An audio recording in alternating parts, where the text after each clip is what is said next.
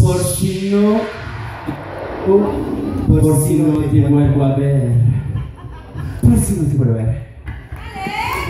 ¡Dale! Cool.